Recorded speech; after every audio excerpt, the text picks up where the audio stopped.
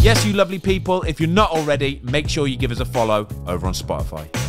I would love him to be here right now because I want to want to know he would put his grandmother in the back of the net. he just sees the ball. He's horrible, It's isn't he? horrible to mark. Yeah. He's impossible to mark. isn't he? Impossible.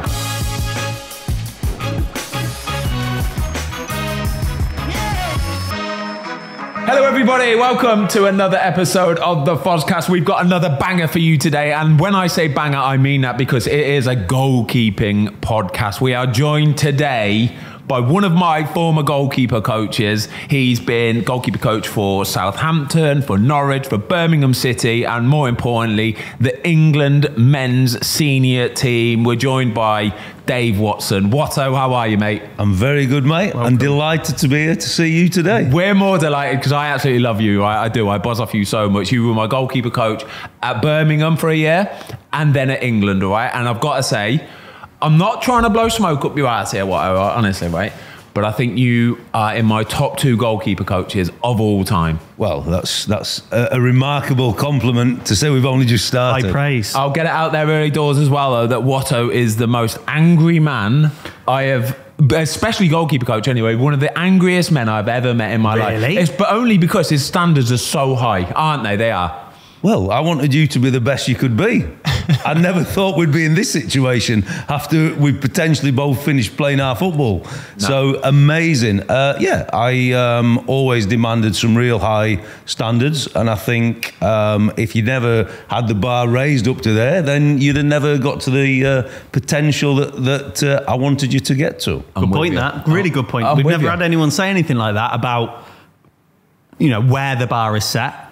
So yeah, that's that's. It's true. If you're if you're working in an environment where that's just the minimum, just the minimum is doing it properly and working hard and making sure, like in goalkeeper terms, just making sure the ball doesn't go in the back of the net. You've done everything you can. Then every day you go into training. Well, not every day because some days I didn't even train. I'd like at Birmingham at that time. It was when I was I just signed from. I had a few knee problems and stuff like that. So there were times in at Birmingham, especially where I wouldn't train till like Thursday or Friday, wasn't it? No, but I, I think for me as a coach, that was one of the biggest learning curves as well, because I think the main thing uh, for a goalie coach, it's your relationship you build, especially with the number one at that time.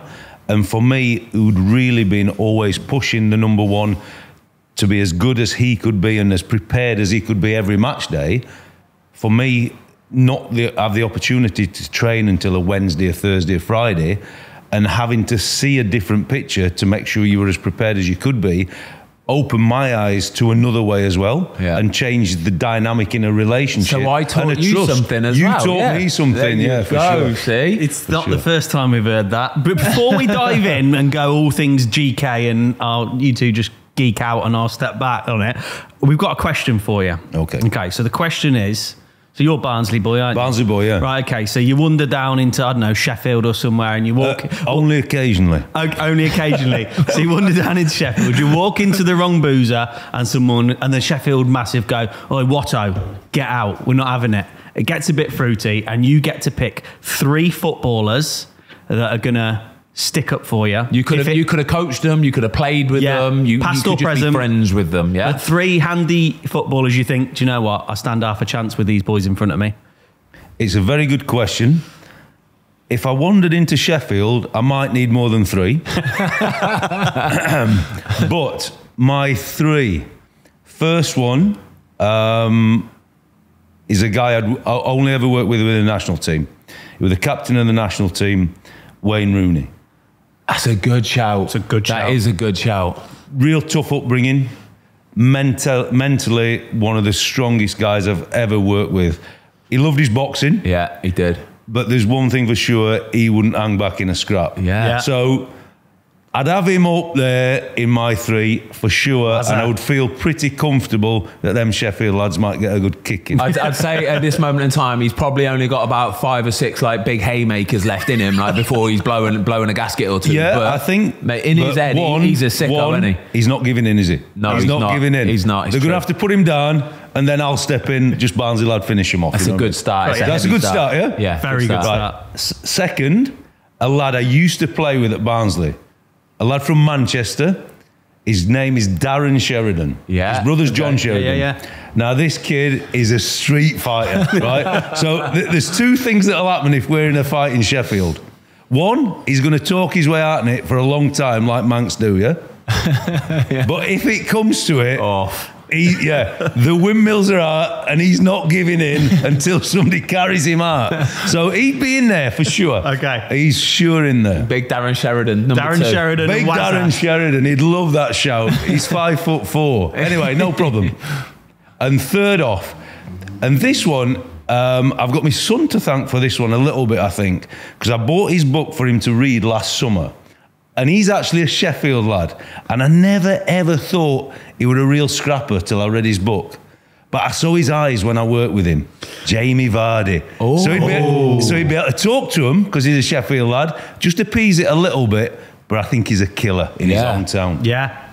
We, oh. we talked about it on the podcast recently, and we Ben said fire a few Red Bulls down him, and he's good to go, isn't he? I think for sure. So if we've had a proper night out, like lads from Barnsley normally do, and he's still there at the end, I think we're in business. Chat shit, get banged. I'm all over it, man. I, I agree with you. Jamie Vardy, he, he, he, he would be exactly what he is on the pitch as well. He ain't, pulling, he ain't pulling out of everything. He's a killer. He's a sniffer. He can sense it. He can sense it. It's coming. But I was just thinking, Sheffield lad, if it's really tasty, he can talk him down a bit and then just kill. I like that. You've given some thoughts to that one. That's a big three. That I don't fancy coming up against any of them three. To be perfectly honest with you, I, No, I don't. and I always need bodyguards in Sheffield. For sure, perfect. mate. For sure. Right, we got. We, I want to. I want to keep it a little bit relevant. So, uh, I want to talk a little bit about England. Goal. You've been an England goalkeeper coach yourself, four years as the first team goalkeeper coach. Um, I want to talk about the current setup, the current crop of England goalkeepers. All right.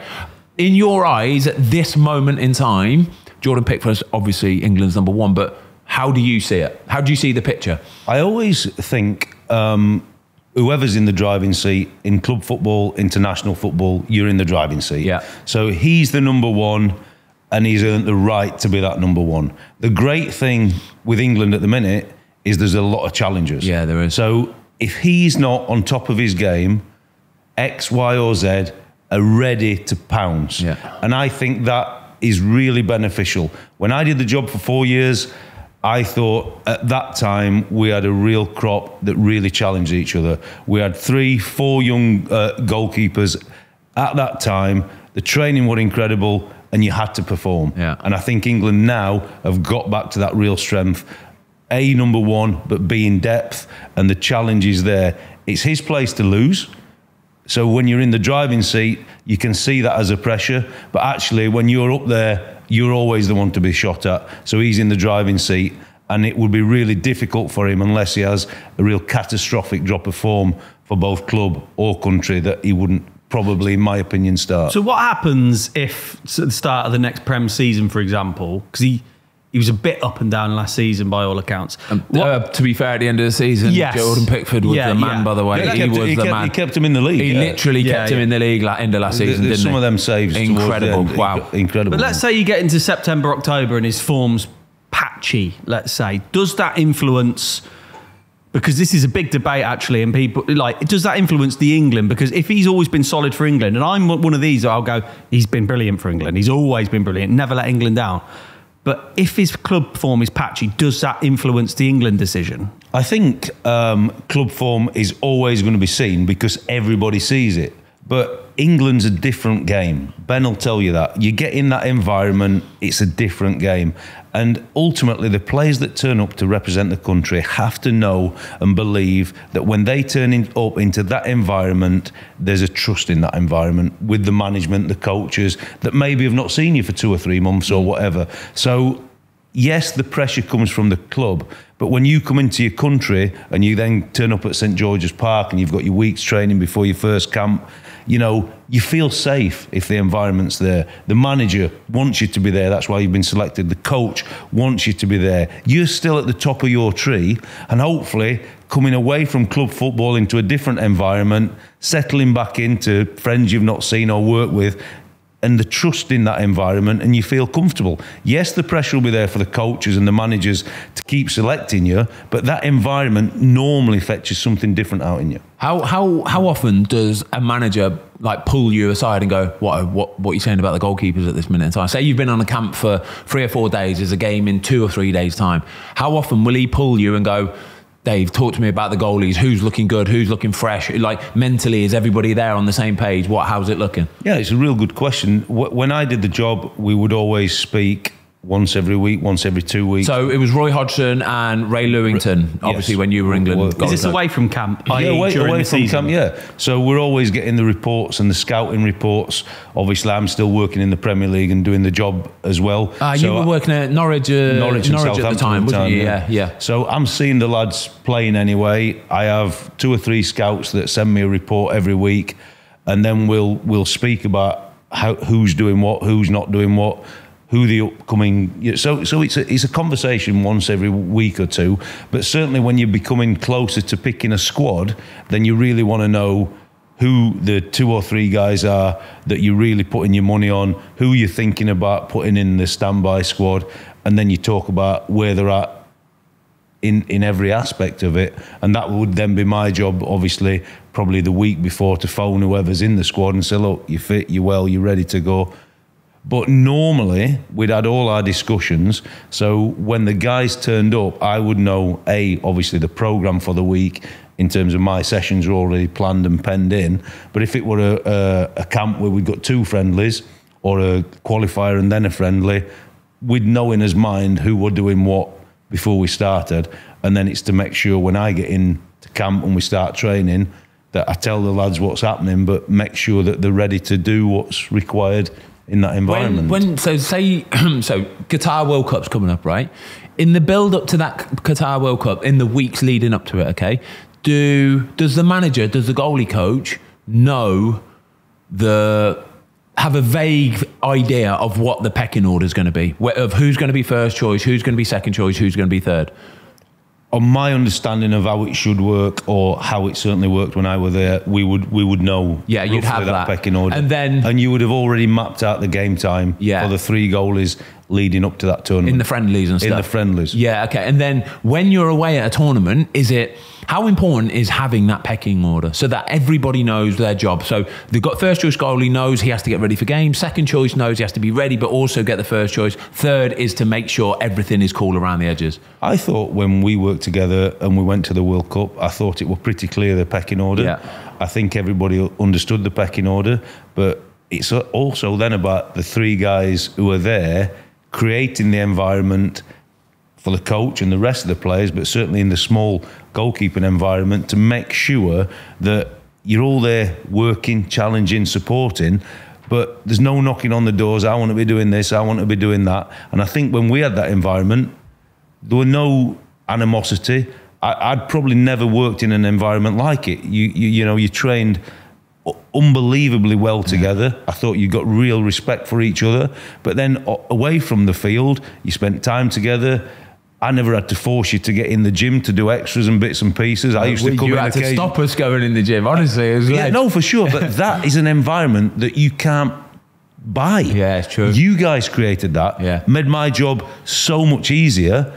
Obviously, I didn't want to come in the gym and join in too much because it was hard work. But but the environment you created made my, my job were easy. That's probably the easiest I've ever had it as a coach. And, Really? that's, and that's because before, I, I'm guessing, like the point you've already made, before you went away, you knew. yeah. Well, the pecking Joe order, knew. Yeah, It was so everyone's gone to the tournament going, this is my role. Now, and a question on the third goalkeeper would it ever influence the manager, goalkeeping coach to kind of, you got number one, they're there, number two, could quite realistically come into the team, injury, sent off, etc., etc. For that number three goalkeeper, is there an element of how good they are around the lads? So if you've got two two goalkeepers vying for number three, would you kind of go, he'd be better for the lads than them, and they might be technically have the edge? I think I think there's a lot to talk about for the third choice. The, the the point you make is to be really good in the group of goalies and not be disruptive and give your all and really support the two guys who are in front of you is key. You have to be good around the place. especially when there's been a game and you might have to go and do an hour's worth of shooting the next day Yeah. with the lads who have not played. So the environment is key for everything. But if you're talking now about a manager or a coach and development, you've got two things.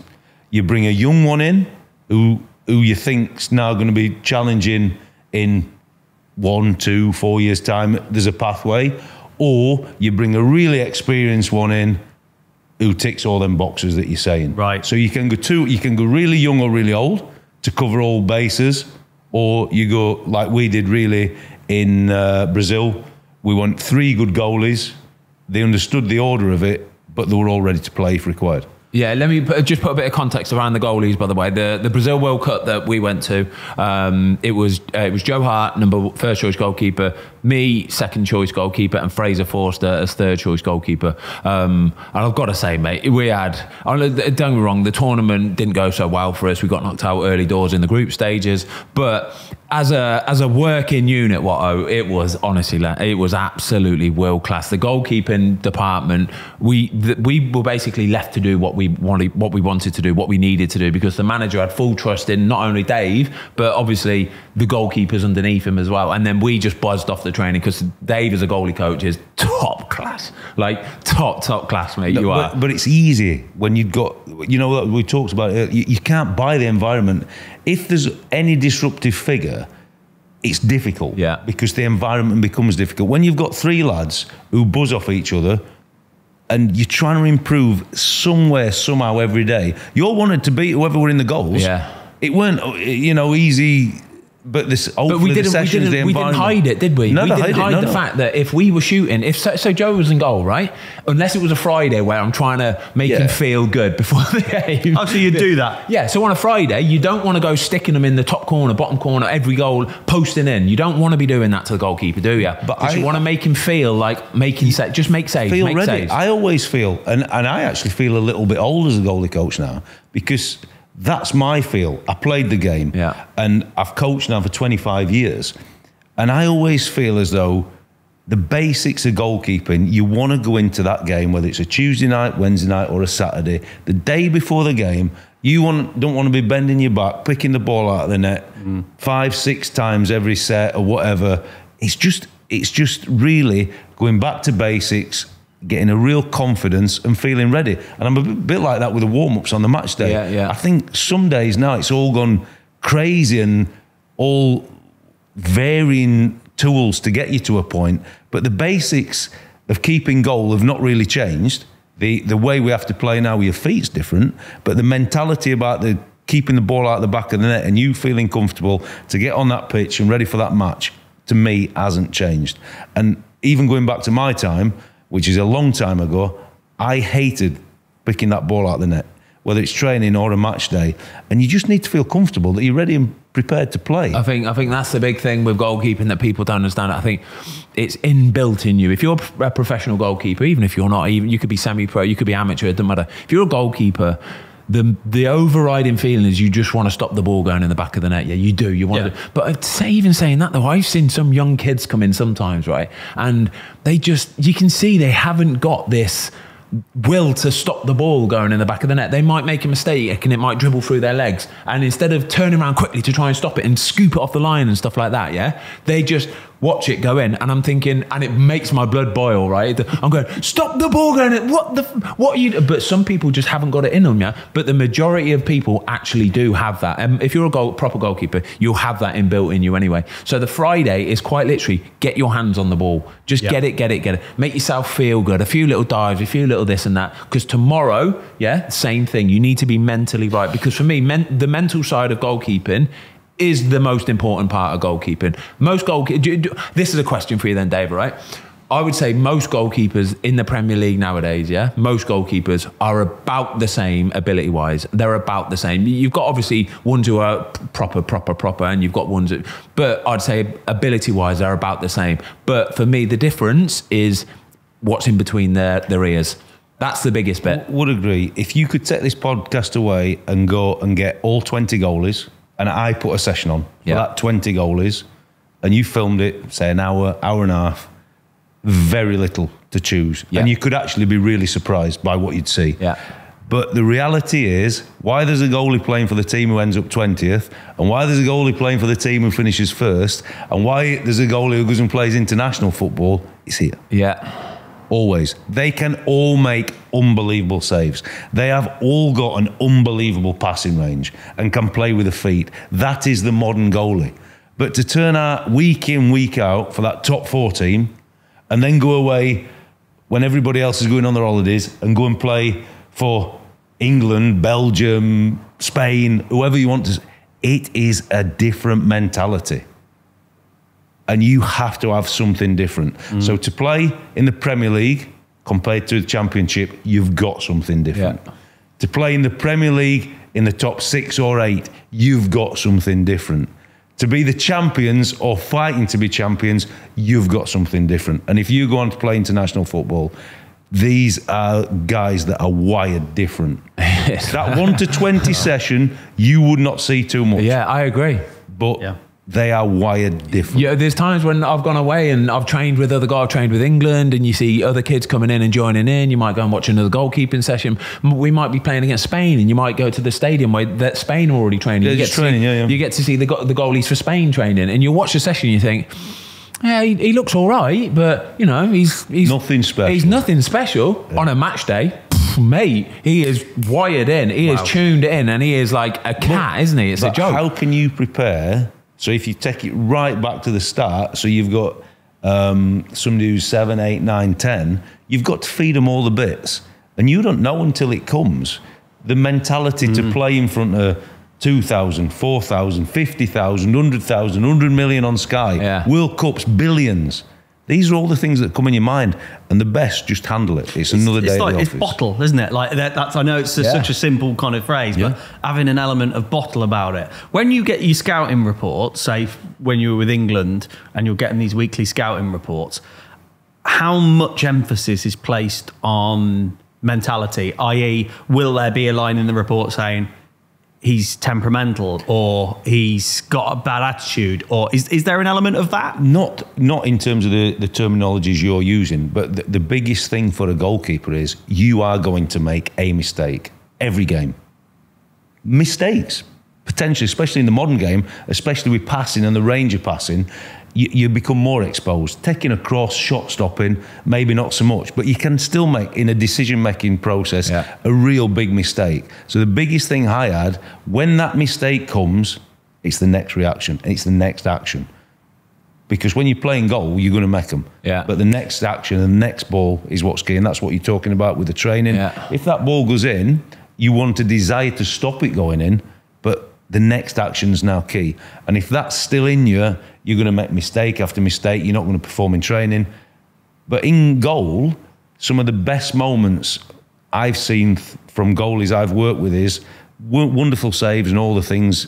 That's nice. But after a mistake, the coach feels it because you've got the relationship with the goalie. You really feel it.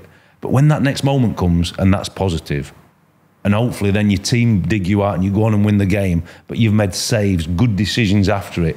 That tells you you're going on that. That's your true marker of, the of what he's built, what he's got. What he's got. Yeah, Yeah, I love that. Um, who who have you worked with? Which which goalkeeper would you say mentally the the strongest mental goalkeeper you've met or you've worked with?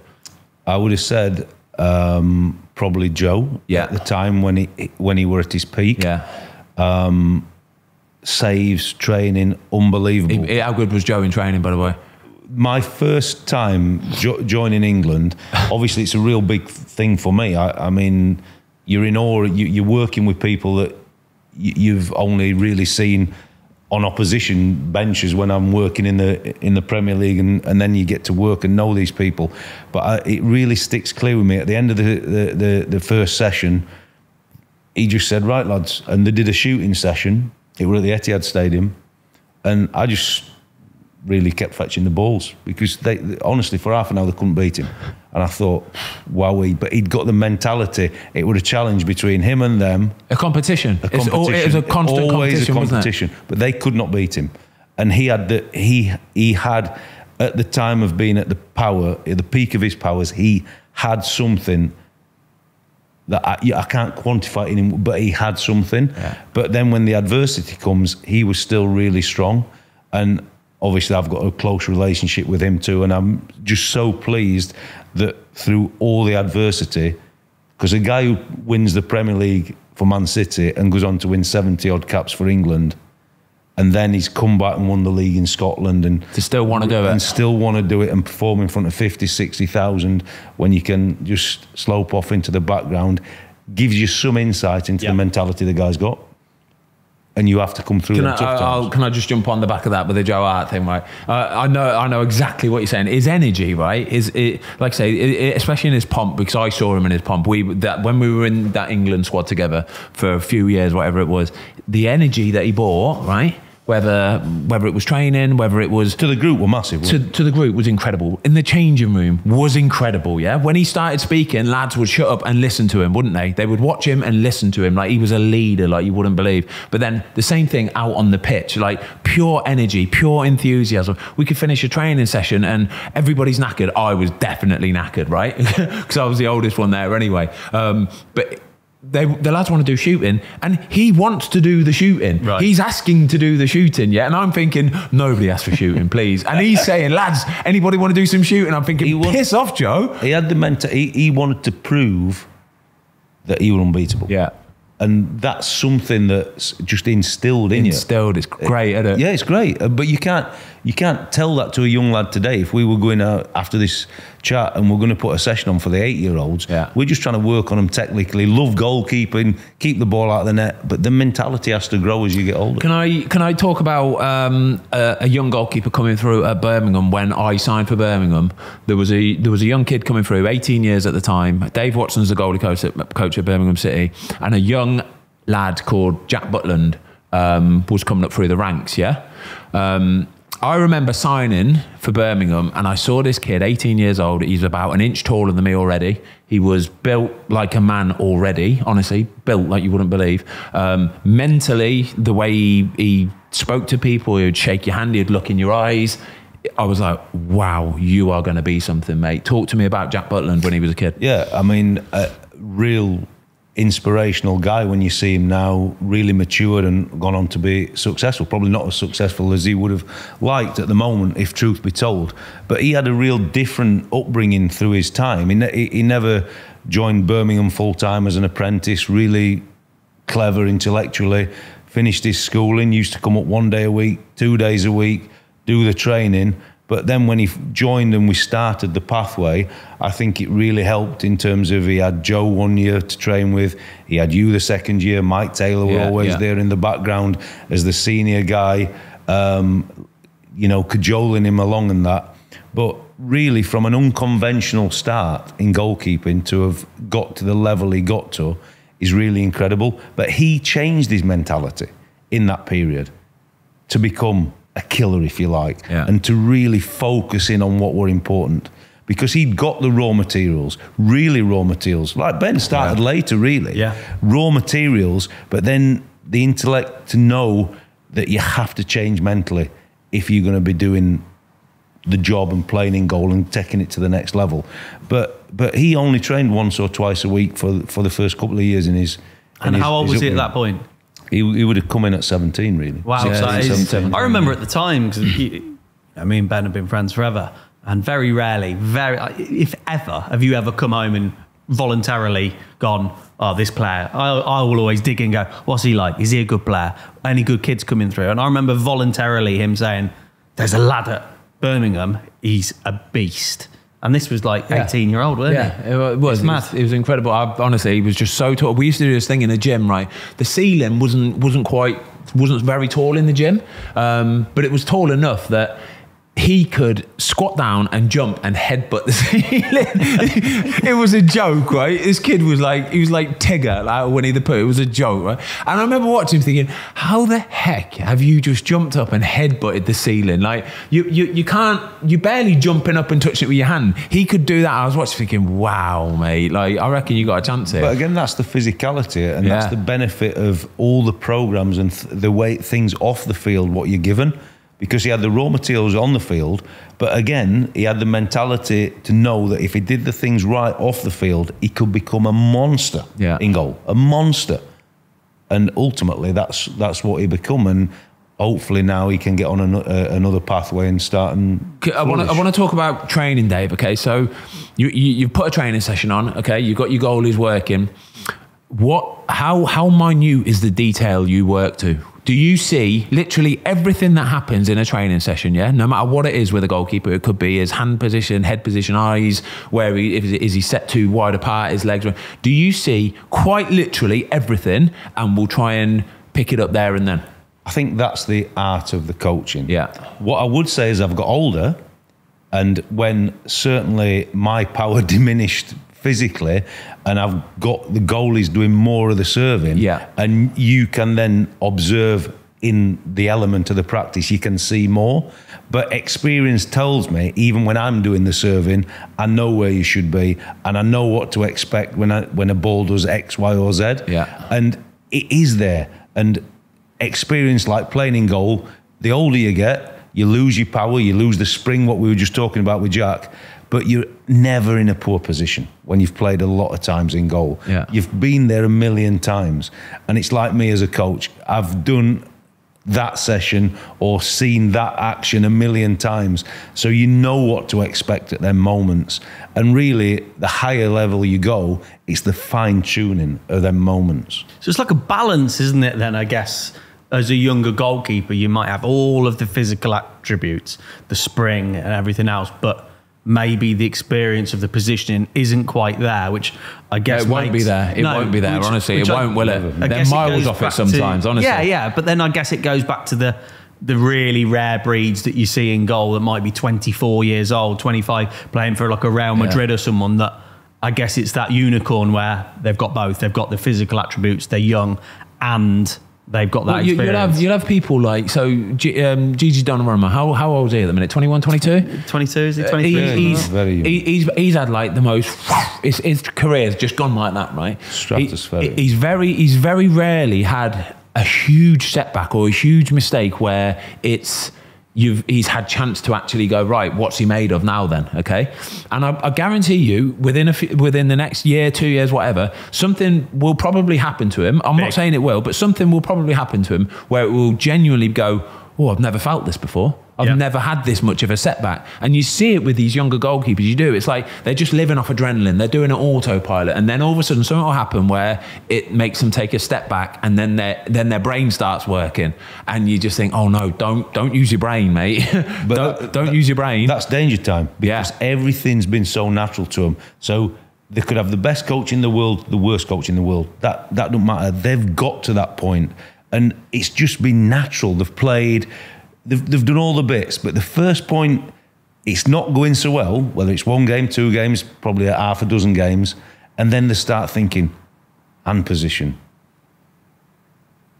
position for this ball on this angle, this crop. When you start thinking as a goalie, you're finished. Yeah, you it even has ha- to be half a step. You could be thinking Millimetres. may- may- yeah, literally. I could. I, maybe I should be a few millimeters more left, or let, maybe my hand should have been higher. Like uh, it was obviously wasn't going to kick it on the floor. He, he's obviously he's going to kick it high, and then you start second guessing yourself. These are things obviously you have to work on. So, am am I right in saying is what you are saying is that that's what you're doing on the Monday to, to Wednesday, Monday to Thursday? You're working on these things and in the week making it part of your, your muscle memory, your routine. So then on the Saturday, that Saturday is when you don't think. Because you've talked so many times on this podcast about once I cross the white line, it's autopilot. That's but it it, wasn't when I was younger. That's the, that's the thing. It wasn't when I was younger. When I got older, I'd say from from Bir- joining Birmingham onwards, it became autopilot for me. and what is that just experience? I'd say so. I'd say it's playing the games. It's getting like I always think getting out on loan for anybody is probably the most important building process of anybody's will, football career. Will Donnarumma be a better goalkeeper when he's 30 than what he is now?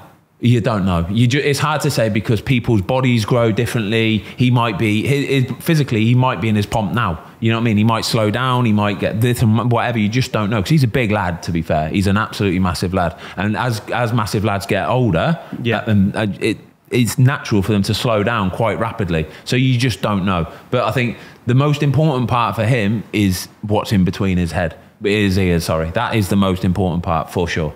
Wow. Just be- before we go any further, just want to kind of put, because obviously, Dave, you've had a brilliant goalkeeping career and I'm sure you'll do a, a lot more. But rewind back in the day, how you got into it. Obviously, you were a player with Barnsley, um, over 200 games uh, and whatnot. So, how did you talk us through for some of the younger viewers? How you got into becoming a goalkeeper because it was um, it was kind of forced by injury, no? Into the coaching. Yes, sorry. Yeah, um, the coaching. I'd played, like you said, a couple of hundred games. I was fortunate enough to uh, have a year in the Premier League, um, and the season after um, started the season. Obviously, the team wanted to try and get back up. I'd just signed a new contract, so fortunate from that perspective. Um, got injured in a in a game against uh, Norwich. What did you do? Can you remember? It was the time when they played um, little dinked corners into the near post. Yeah. So they've played the little dink one into the near post, and they, they, they flicked it on. So I'm, I'm in a in a position at the near post, and as the flicks come, he's obviously flicked it towards the back. So I'm shuffling and twist on my right knee, and there's a contact at the back. So I make a save, but as I've twisted, I felt this is not, and but it's just before half time, and like really, you know, I didn't feel like a catastrophic. This Just a twinge of, oh, that's yeah, weird. this- yeah. So coming at half time, and like it's seizing up now as I'm sat in the thing. So I had a couple of injections, no sub goalie or whatever, and played the second half, and I just couldn't move. Now, if you'd have told me from that point I would never play a professional game again Wow. in the first team, that would have been mental. So from that point, I thought I'd just done a little bit of cartilage or something because I'd had a cartilage problem 18 months to two years before, and that got dealt with. So obviously, go for a little bit of surgery. And really, if I'm honest, that's what I thought at this time. Little bit of cartilage problem, and they mentioned that I'd got some bone on bone stuff. But but I'm naive. I'm 23, I think, 22, 23. Were you that young when you did it? Yeah. And and you don't realise what they're telling you. So I rehabbed really like I'd had the cartilage problem. I played a reserve game at Halifax Town on the Wednesday, and we were playing. I remember Grimsby on the Saturday. I can't remember it, we were home or away. The manager had been to the reserve game at Halifax on the Wednesday afternoon. Um, I'm sat in the dressing room after the game, and I could not move. Honestly, you know the big ice Massive, packs, oh. massive ice pack, knees up there, and he said, uh, "Well done today, Dave. You'll be in Saturday." That's a gaffer. I'm not being on Saturday. I, I, I'm, I, I said, I think I've got some serious problems. You then go and get another opinion, and then everything starts to unwind. And basically, I'd got holes in my two bone surfaces, and Microfracture. microfracture. Yeah. I had a microfracture, did nothing for six months. Then they had a bit where they take my shin, took a piece of good cartilage, oh. grew it in an incubator, Yeah. Put it back in. The microfracture is the bit where they have to drill to- loads, Loads of little, holes. yeah. So they go in and they drill loads of little holes around Just the to area. try and get some growth. To encourage bone and- growth, so- basically, So yeah. your bones are not, there's some kind of cushioning. yeah, it will bleed and then hopefully bone growth will promote around Um, So. I tried all these things. Eventually, I tried the cartilage in the incubator, and six months later, put it back in. Um, and really, unfortunately, when I went and had the cartilage put back in, and uh, everything, I never felt like it had gone really well. I rehabbed, but as soon as I started to really push it, I felt as though the, I could feel it grinding. Really? So I went back to the surgeon. I said, "Look, we, we, I want you to go in and give me a real, honest opinion where I'm at here." So he went in. Obviously, told me it weren't very good. But from him doing the arthroscopy, I got an infection, Oh. and I were in hospital for a month on a drip. I, I was finished, but the infection was so bad that they had to take everything out. So what do you mean? Like what? yeah, Or- so, so all the, the gauze, the the uh, cartilage that had grown, the car, wow. it was so Oh, so infected. they'd have to rip all the all the work out. All the work out, and that were it. That, that were it. Because this is the finished. case of now. It's not a case of it's trying to save your leg or Yeah, no, it got to that stage. I was in hospital for a month. I was really poorly, uh, but the infection had become so bad. I were having a surgery every day, but I had to go in at the end of the day so that they could scrub the the, the theatre afterwards because the infection's obviously a risk to whoever's going in there next. So I spent a month in that situation, but by the time they'd cleared the infection, there was nothing really left to save. The knee, So you knew at that point, that's it. This is done now. Here, that yeah. were it. And you retired at 28. Is that right? uh, 26. really, yeah, 26. Blimey, because you you'd played under 21s England. Yeah. You'd had the year in the Prem Yeah. with Barnsley. We were like kids at that Yeah. stage, but that was like when we were like. I probably got you in a panini sticker. Yeah, book at I home remember- I remember I would have liked you to have brought that Yeah. in for me to have a look I be at. good, remember because you were like really obviously blonde hair now. We'll find like, a picture. really if you're watching blonde on. YouTube, this is his Panini Yeah. sticker up here, by the way. But that Barnsley Merlin. team- It's not Panini. It's Merlin. It's Merlin. Yeah. It was Merlin, It was wasn't it? Merlin. I Yeah. can't even Merlin. remember. Yeah, it was Merlin. That Barnsley team were um, they were. I remember like we were talking beforehand. You had some names in that team, didn't you? I didn't realise Chris Morgan was in that team, was Yeah, it? for sure, yeah. And then we were kind of having a walk down memory lane yesterday. You had like Jan Aage Fjørtoft, and there was one player I remember at the time because he was in. Do you remember when you used to do the Sun fantasy team? Yeah, yeah. But it was a paper. Yeah. and then you'd yeah, have to yeah, ring yeah. it through and Yeah, Um, your transfers. And there was one player. How good was Neil Redfearn? Phenomenal player. How He good was was up there. Neil Redfearn? for us to have had a player like that in that team, obviously you were the captain of our team, so you were the mainstay of our team, but he just led from the front. The way he played, or the way he trained, Yeah. he came, every training session he came off, he, he looked like he were dying. He gave everything to every moment.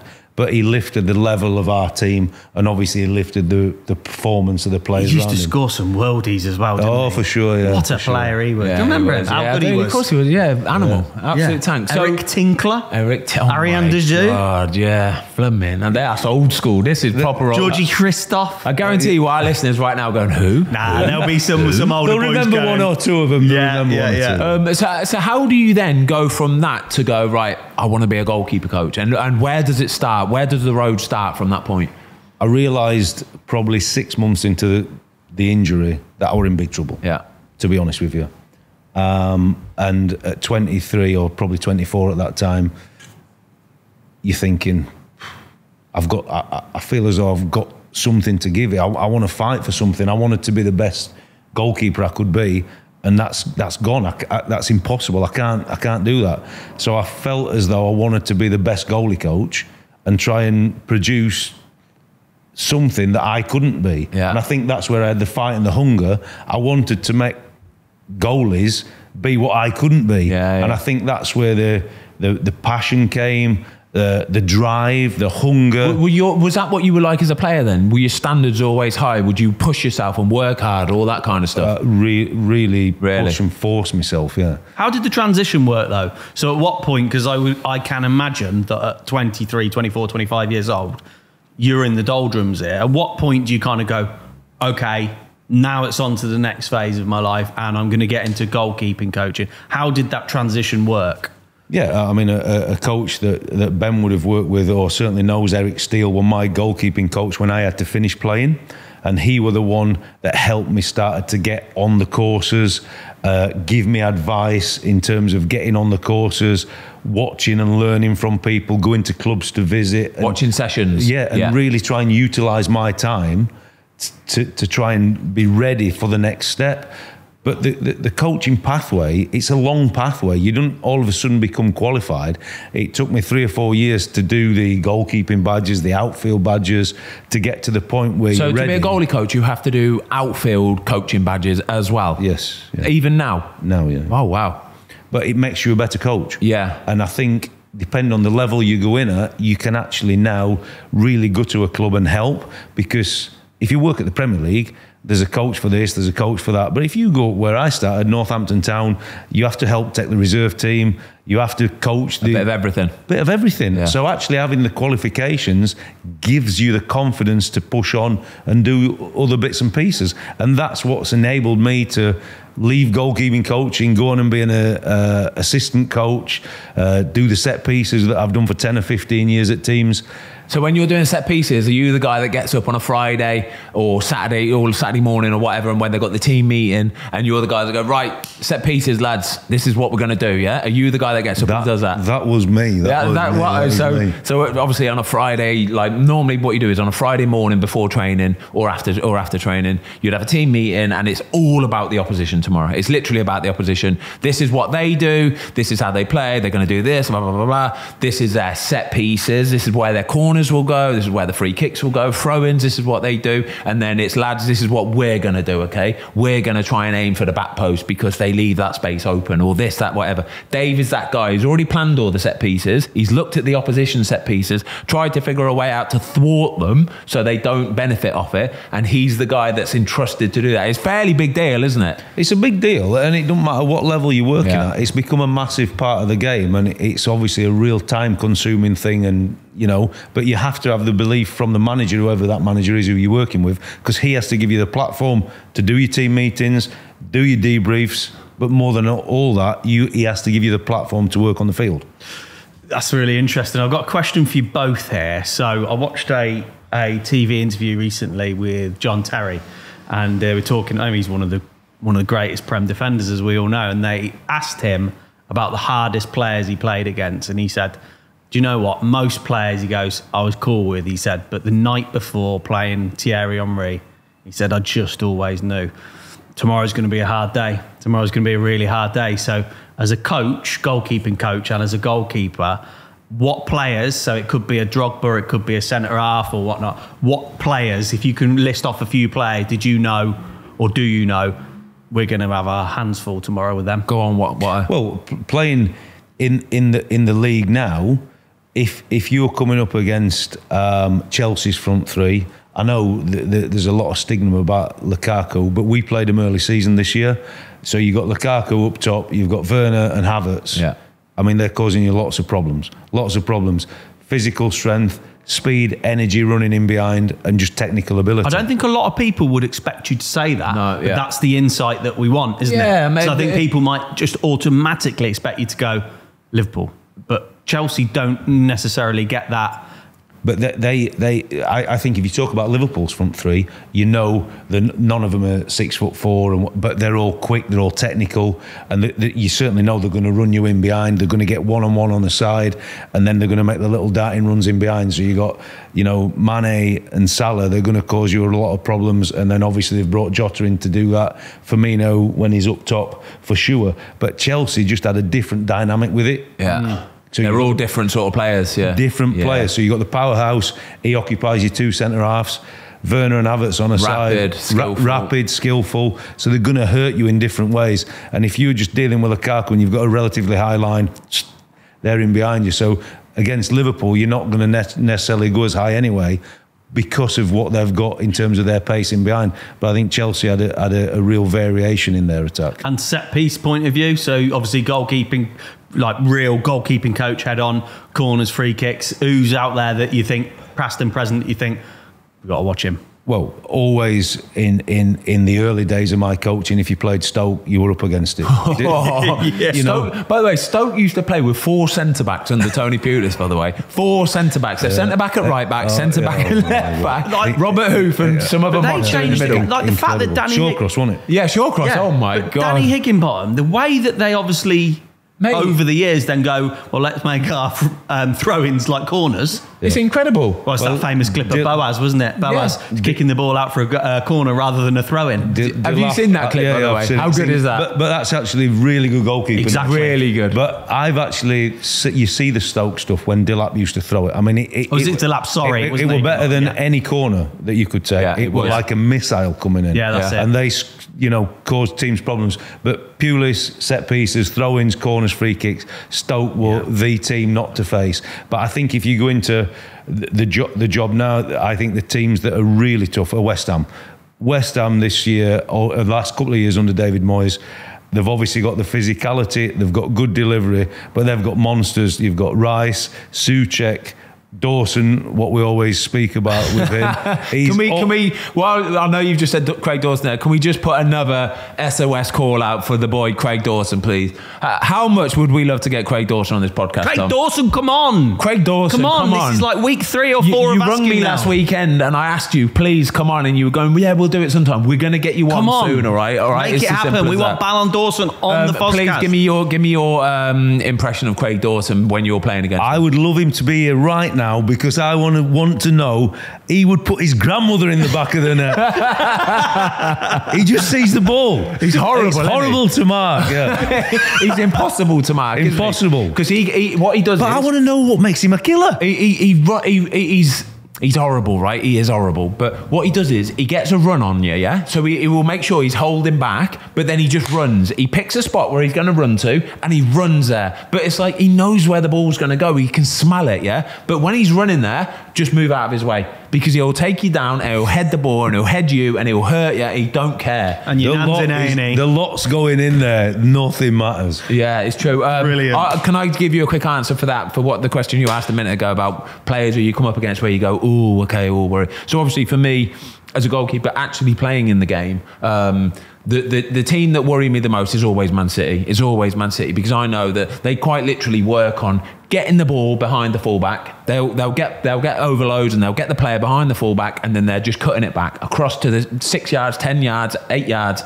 They're cutting it into that space and most of the time there's two or three of them waiting there to just put it in the back of the net. So we will work on in training all week long on quite literally pullbacks, cutbacks, yeah. So you'll be you'll have to come to the near post, and then once they've cut it back, you have to try and cut, get back into the goal. Bearing in mind you've got to cover a massive area, you just have to hope for the best. That it might be somewhere near you, and you literally just work on that all week. Or long. just hope that they don't turn up that day. no, they will turn up that day. They always turn up Unfortunately, day. they turn up. But I always Yeah. think against City, exactly the sessions you're talking about. Yeah. Sure, cutbacks and when they're in behind you, but you end up as a goalie working in real false positions. Yeah, it's true. Because you're trying to protect your fullback, your two centre, because you know that they're going to get done. Yeah. and you actually you're playing in a. It's a different game against City. It is, yeah. Your positioning against City is different. It's scary, and that that is uh, so it's not natural then. So it's all it's fully scary, isn't it? It's fully scary, and like I say, you always just go to the lads, lads, just please try and try and hold on as long as we can. If we can get to half time, if we can get to half an hour, twenty minutes, just hold on, just hold on. And quite honestly, the last ten times I've played Man City, about three minutes in,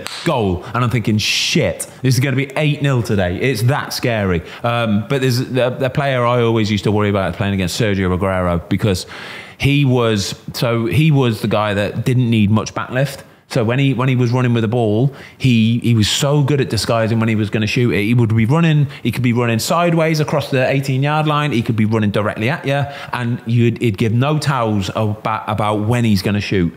His backlift would just be so quick and instantaneous, and he could still kick it so fast and powerfully with swerve, with dip, all that kind of stuff. That as a goalie, you don't have a chance to get set. And if you're not set, you are made to look a dickhead, aren't you? But that's the key to what we spoke about five, ten minutes ago when you talk about naturally positioning and things like that. But when you're playing a player like that, you always think you've got time just to make that fatal, normally, Yeah. final last little step. And he hits it just as you're having your last little step, game over. It's done.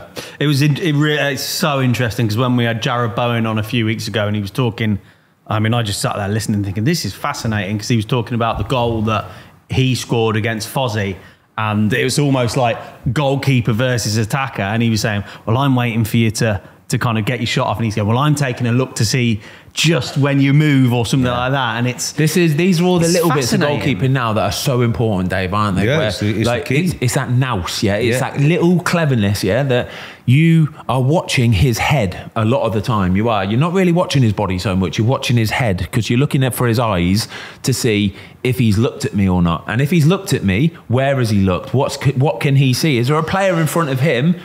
That he needs to put it that side. It's all Yeah. those tiny little things, and, and this is where when players just take it quick, sometimes you're still sort of watching and you're thinking, "Oh shit, he's just shot." but that's the experience, isn't it? And and obviously, when you first start your, your goalkeeping sessions and a lot of your sessions, you've obviously got the tools now with mannequins and bits and pieces. But the best player will use that body in front of him yeah, to make it really tough for you as a yeah. goalie. Yeah. Yeah. And it's the positioning behind your fullback, centre half, whoever's in that covering position, and you making sure you're in the right position to make the save that is key to it because it's all them things that the moving parts in front of you are just as critical for your decision making because that has a big impact in your decision making. What that last defender's doing for you. Yeah. Do you know? Do you know what? A lot of goals are getting scored nowadays, and it's something that strikers work on now, like you would not believe, is shooting through legs. Yeah. So you know when a striker incredible. gets it out of his, he takes that final touch before he's about to shoot it. Right. Yeah. He will purposely now aim for the legs Yeah. of the defender in front of him. Or a little- No, it- it- no, it's Yeah. literally that. It's literally just touch bang, and they're trying to go through that defender's legs. Yeah, literally they are because they know the defender will nine times out of ten just do that little spread thing like that, and they know their legs are coming open, so he will.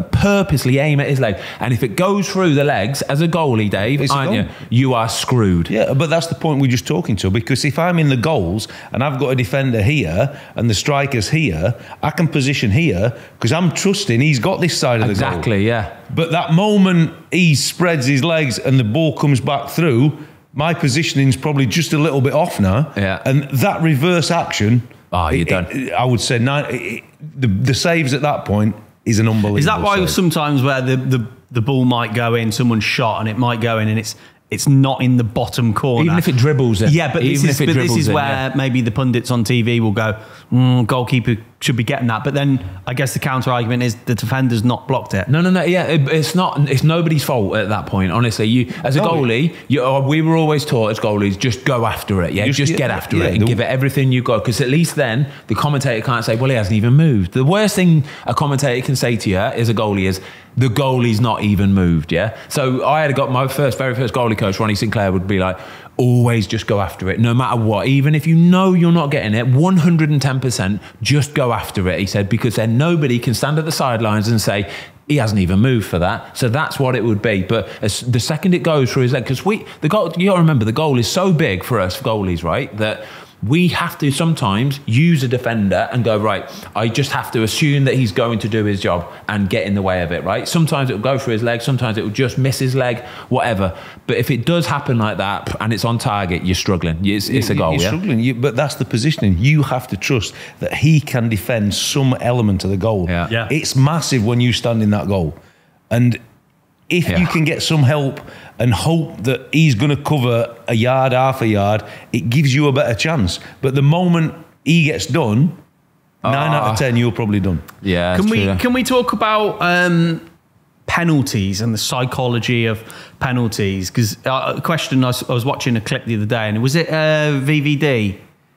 Who was it recently where he the goalkeeper stood on the left hand side of the goal, and the, the striker's gone there anyway, and he's absolutely rattled it in the top Would corner. it have been Kepa or something like that? Was it One of the Kepa? penalty shootout. Kepa and Yeah, VVD was that it? Yeah. Maybe, yeah. And so so like if you're if you're VVD and you're going, I'm going that side, and the goalkeeper's stood over there, surely that's going to get in his. Well, it didn't get It's in all, his. it's all a psychology game. It is. It, like with penalties, whatever. Right, the, you expect the striker to score, don't you? You expect the, the penalty taker to score. Yeah, and I think the, the rules now have made it so difficult for you. Yeah, with the foot on the, the with foot the foot on the line. and the and the rules because you you can go full tilt and still it's a retake. You Yeah. know what I mean? They, they've made it really difficult for the goalie to save it because if you wait, the power these lads can generate from a side foot pass, Yeah. and the accuracy, you're done. But the best ones who just wait that second while you've gone is Can I? Um, I've got a question. Really good question here, Dave. Okay, can you build me your dream goalkeeper? Yeah, build me your dream goalkeeper. Right. The first bit I'm going to ask for is footwork. Yeah, I'm not talking about distribution here. I'm talking about footwork, like how they move around their goal, like gliding around their goal, quickness, efficiency, that kind of stuff. Who we take? Who we picking? my take on that at the minute would be De Gea. Really? Yeah, the way he can move around. He's so quick across the goal Yeah. to make the saves. It's effortless. Love that. and his positioning in the end of it is just perfect I because agree. it makes it look effortless. Yeah, it's this is that cleverness of knowing where to be. Yeah, you you could be out completely out of position, but it's like he knows that the ball will probably go there. He's done the math, he's done the Yeah, yeah, calculations, sure. hasn't he? It's incredible. All right, David Hay, I love that. That's for that's for footwork and moving around the goal. We're talking about distribution now. Distribution now, um, I think it's really important that you've got the ability to play off both feet. And the, the one who probably sticks out to me head and shoulders is range, his ability, calmness is at Ederson. Yeah. He's, ta- he's taking it to another platform. And just to put some context into that, when we, we, we, we obviously at Southampton last season played him twice.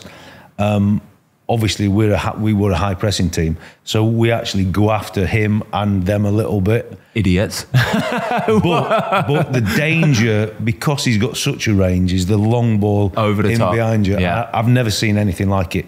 It's two steps and it's effortless to kick the length of the Yeah. field. So there is nothing that guy can't do. Yeah, I agree with that. Nothing. I, I totally. That's the that's the scary bit about Man City because they've got they've got literally everything closed off. He they put- can do everything. puts them in on a goal kick. That's what I'm saying. So you can't push up against Man City. You can't because he can put it over you, and they're looking for it to be put over, so they can just run onto it. Sergio Aguero used to stand, sort of like honestly, watch some watch some games back in the day. Sergio Aguero would stand probably 40 yards from my goal, and he would just stand there.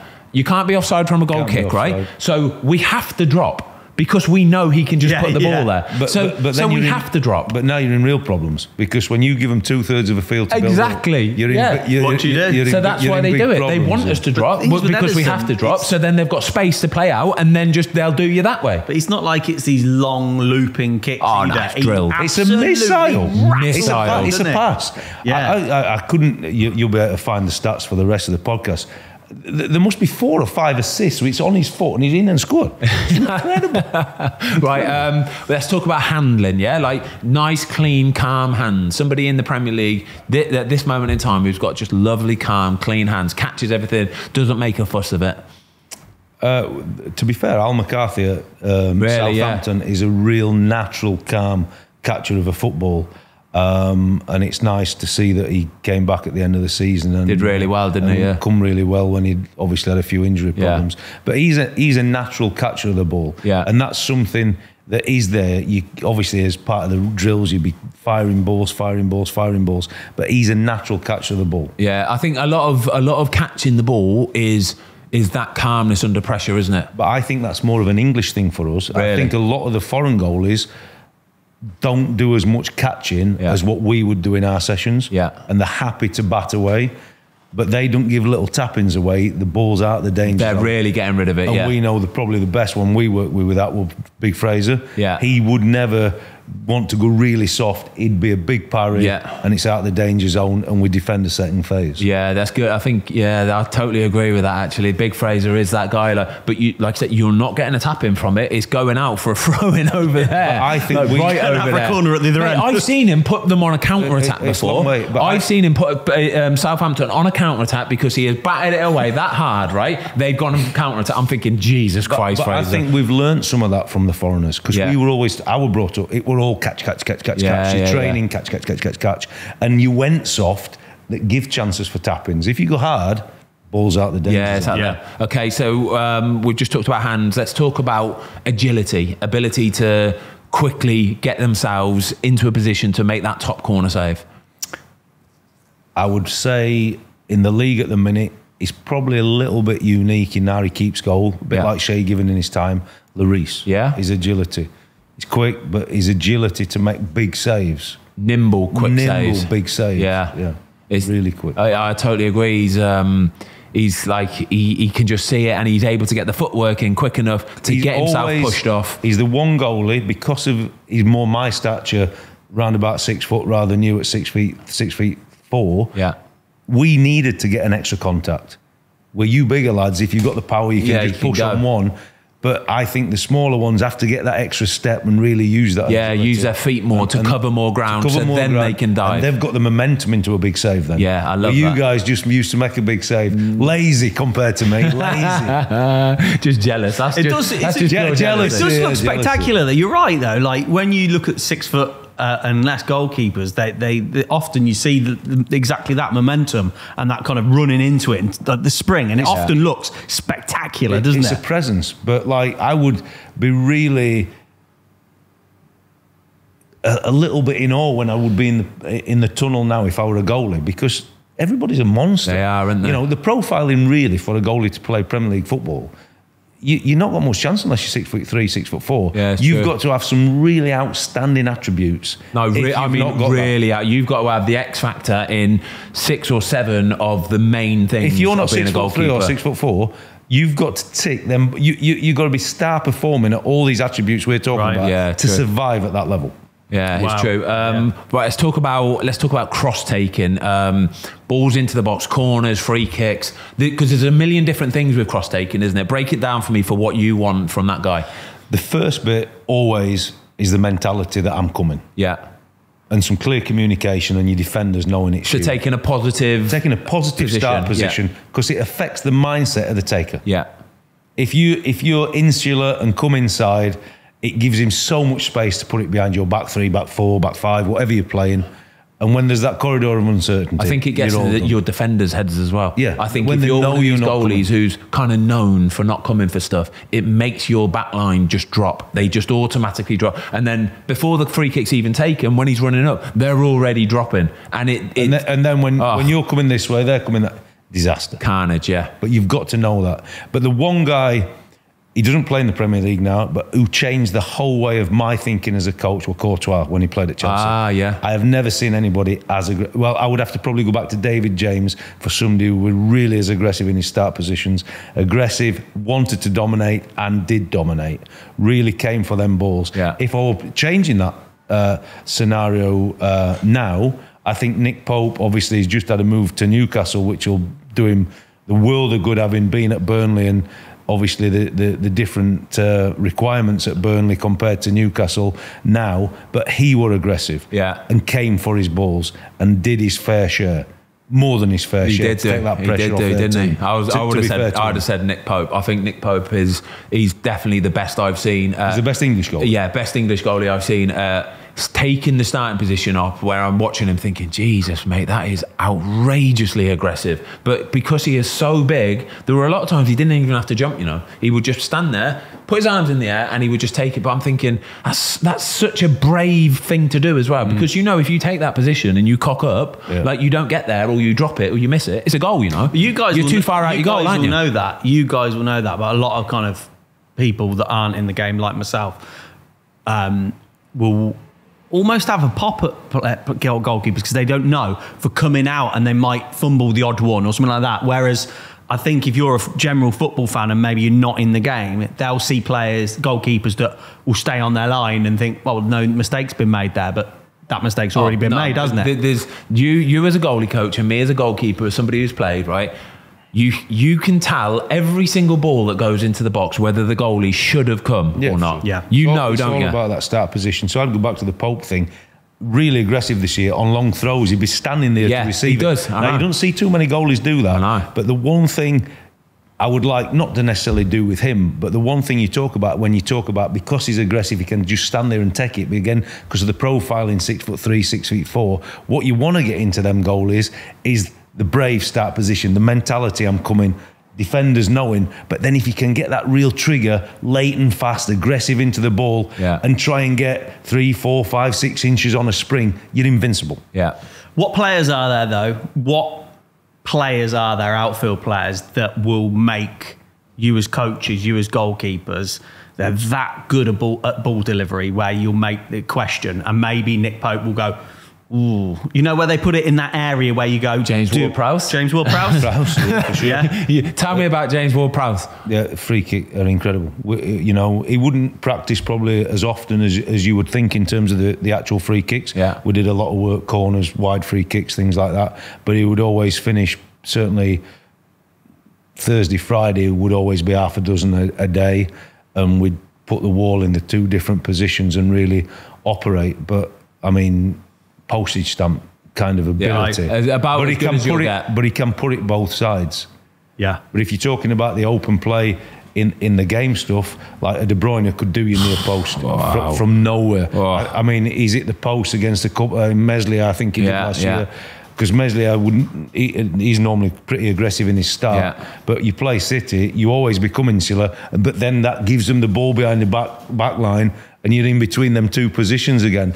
Uh, again, it's who you're playing against. Is there the any level. that you play against Fozzie that you that make you question it or second guess Ke- it? Kevin De Bruyne. I was just Yeah. about. I was literally about to jump on that and say that that Kevin De Bruyne boggles your head so much, right? Because he is so powerful. He's he's got the side foot like wrap, inside foot wrap, yeah, where you think he might be crossing it, so you try and take an advanced starting position to help your, your back line out, help your defenders out. And he's already putting it in the bottom corner over there. And you're thinking, oh my God, how can you kick a ball so fast and so hard? You go back to the same thing you talked about City. You want to be doing your work, coming across the goal for the cutbacks and that. Yeah. And the one thing I said to younger goalies is you've got to do your job first. Yes, you want to help them. You know it's a tough day today. Yeah. But when you start doing overcomplicating your job, you're going to be caught in between. Your defenders, are, and it's disaster. Yeah. Start with a platform first, and then when you get a bit more experience, you can chance it a little bit, but you don't want to chance it against somebody of his quality. No, God, no. Um, oh, we need to do. We need to the mentality. The mentality monster. Who? Which goalkeeper is the the most? Oh, he's just got it about him. He don't care. He steps. Oh. No, do you know what I mean? Though, how good is it when you see a goalie who just gets out there? He does not care about the the, the possible chance he might make a mistake. Nothing. He just he just deal with it. Um, in the Premier League at the minute, the the, the mentality monster, the, the the English one I was going to say were Ramsdale. Yeah, nice. So Ramsdale at Arsenal, having gone to a big money move as an English goalkeeper who's had a couple of relegations. That's not his fault, but you've been in them tricky situations. Relegation's never the goalie's fault, Dave. All right, don't pin it on a goalie. no, no but you I'm, I'm the joint most you- relegated goalkeeper in Premier you League get- history. you- all Right, right. You get drawn into this, but I think if you turn that on its head, Yeah. two relegations and then a club like Arsenal to have really backed English goalies, which we want to be backing ourselves, uh, and for him to have come into that, he seems. I've not worked with him, but he seems to have got the mentality that he's unfazed Yeah. by what happens in front of him. Yeah. and I think for him to be that is a real. You have to have it, It's incredible, isn't it? but you. I think he's got that there. Yeah, I It seems totally to, agree. Seems to be. I totally agree. for me. We had, we had him on the podcast. Donnarumma, when you sorry, Ben, go you mentioned Donnarumma uh, at the age he's at.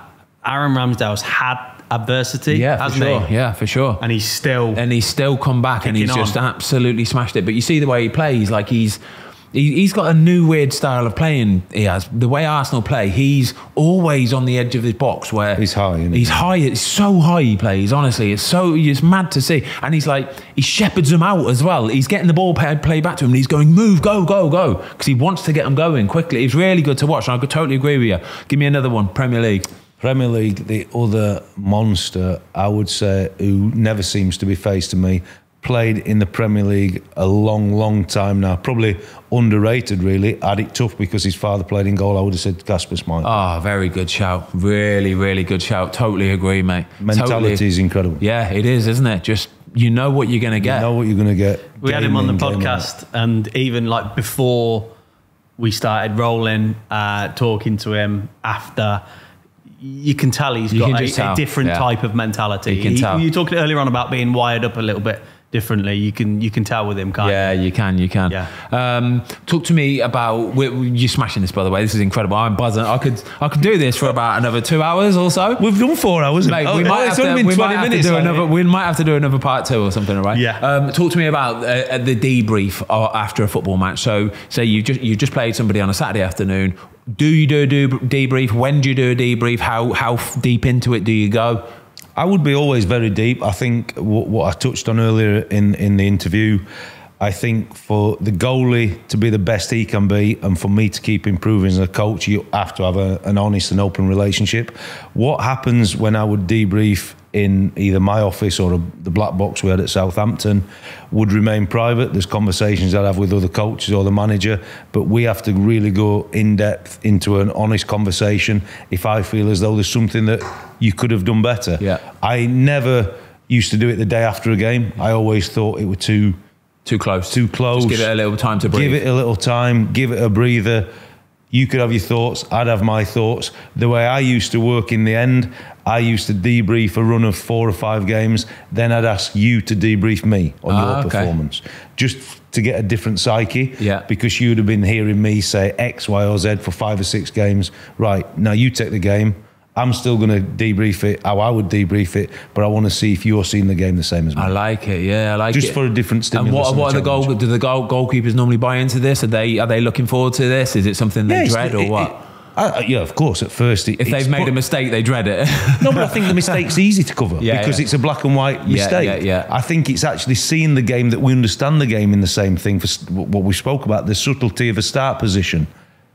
uh, uh, seeing a, a certain pass, a certain start position for a through It's ball. It's not even a subtlety though. You know it as well. This, But this that's- is where it I'm- needs to be honest, isn't I it? want them to be honest with me. Yeah. A mistake's easy for Yeah, me yeah, to yeah. say, you to say to me.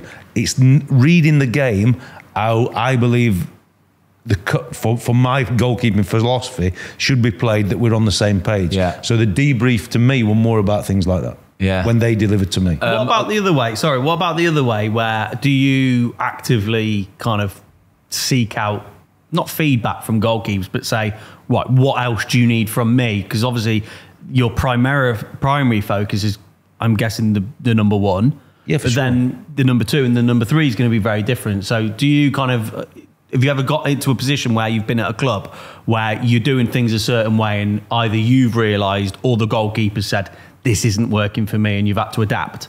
Not really, but you've, I've, I've always had the, the, the open door scenario where there can be an, a, an open line of communication and you are predominantly servicing that number one. But when the number one's gone off to do X, Y, or Z, that's then when you fine tuning your second goalie for whatever, for he might be getting some time in a cup game.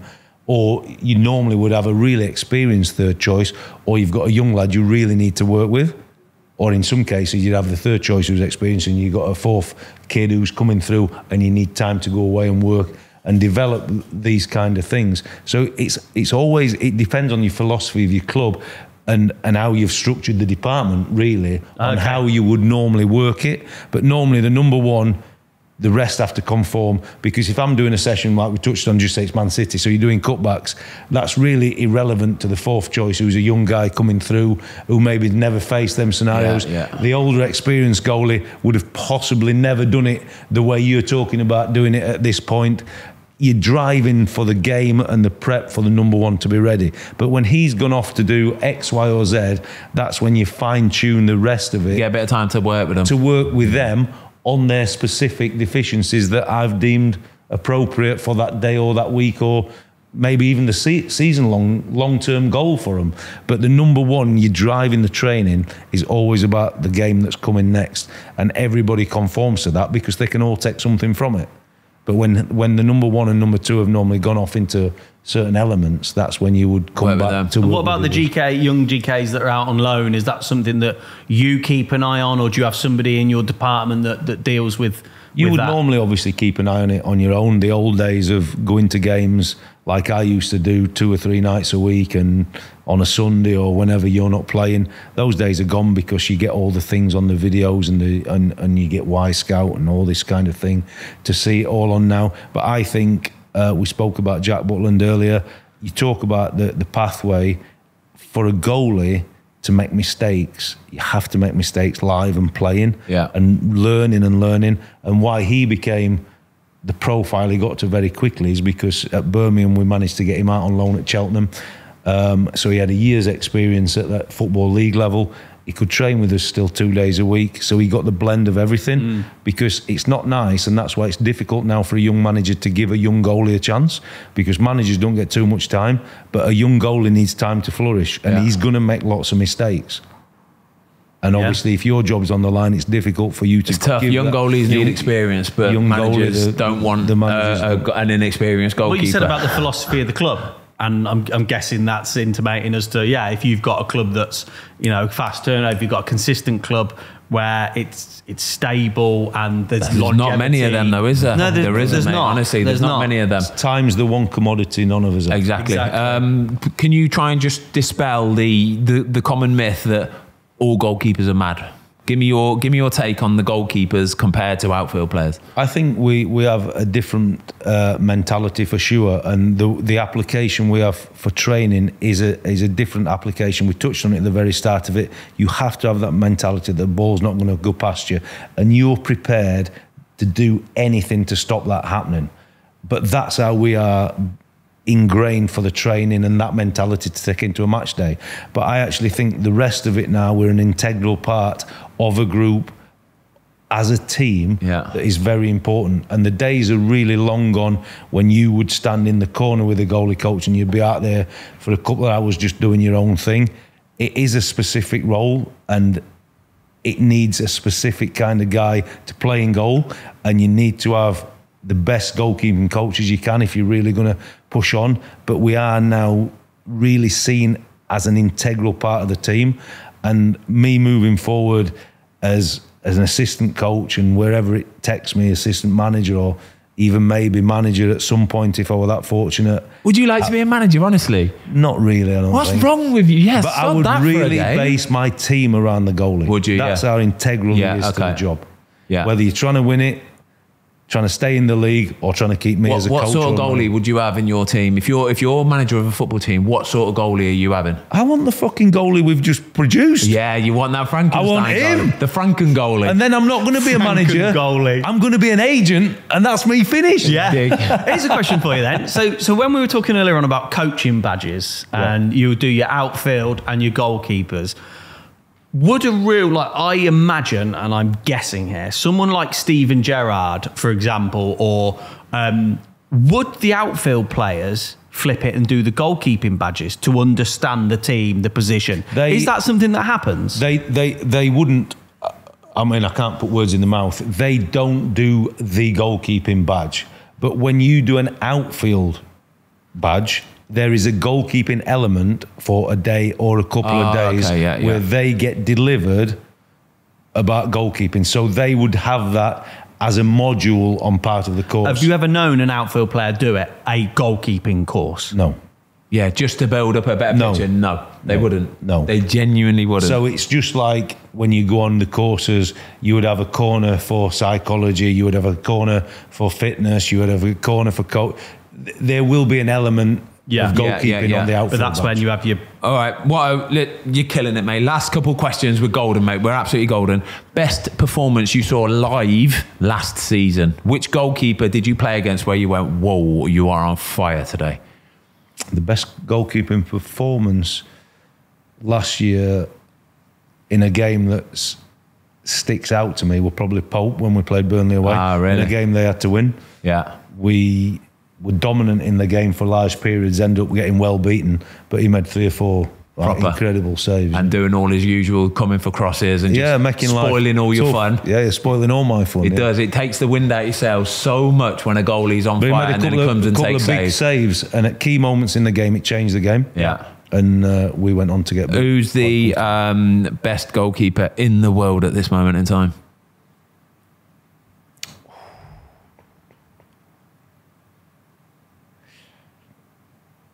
The one? Uh, whether he's the best, I don't know. But you- for for me, having worked in the game so long, one I would like to work with is the guy we spoke about, Donnarumma. Yeah. I, th- I think he could. I think he could. I think he's got more to come when I see him. Yeah. and and that excites me. If you like, from a coaching perspective, I don't know. Would I be right in saying he's the best in the world at the minute? Pro- prob- probably not, but I think he could get there. Yeah, I like that. Um, mate, that was absolutely top class. Brilliant. Thank you very Dave much. Watson, what a guy. I knew this was going to be good. I, as Very always, the goalie pods I look forward to anyway because it's a full geek fest. You break it down, you really get into the detail. But I think you've described it absolutely perfectly today. What a what an absolute Thank you very much. friggin' legend. Cheers, Um, guys. Loved it. Well, well, right. So all we need to do is literally look into that. You're looking into yeah, look into that fire camera. I'll go first, then Tom, then you, and we go up the Fozcast. Up the Fozcast. Up the Fozcast. yes, There we go. We've got, we've got a northerner up the Fozcast. Up to Fozcast. Uh, Thanks everybody for watching. We hope you enjoyed the latest episode of the Fozcast. Don't forget to give us a follow on Spotify. Up the Fozcast.